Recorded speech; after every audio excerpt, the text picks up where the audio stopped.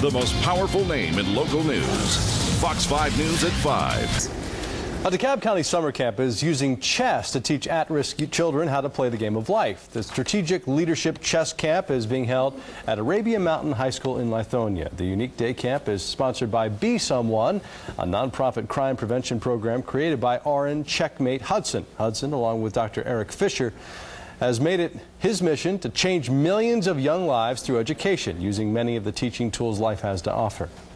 So we're taking a proactive approach, getting kids off the street, teaching them how to think and be productive citizens. Our message is think it out, talk it out, work it out, but don't shoot it out. Our message is heads up, pants up, grades up, and the big one, never give up.